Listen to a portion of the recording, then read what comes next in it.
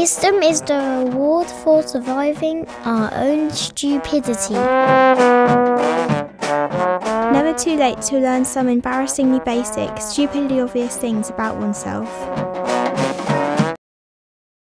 That's something you need to start practicing early in life so that your instinct develops and your trust in it develops so you know you get to rely on it more because i haven't trusted my instincts nearly enough and, and i think i've made a lot of mistakes because of that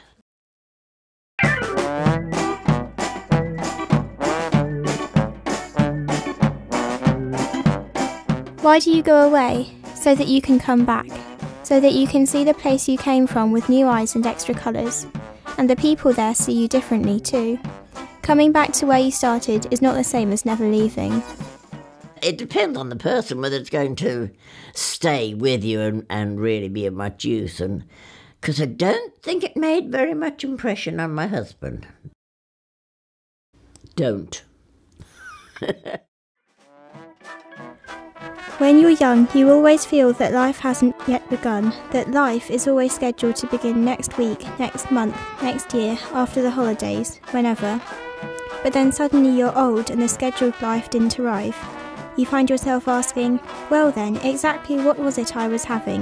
That interlude, the scrambly madness, all that time I had before.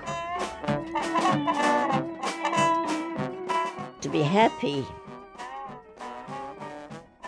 i think you need to be positive and i think you need to have good friends and you need to have what should i say interests something that you feel is more important than yourself um, i'd say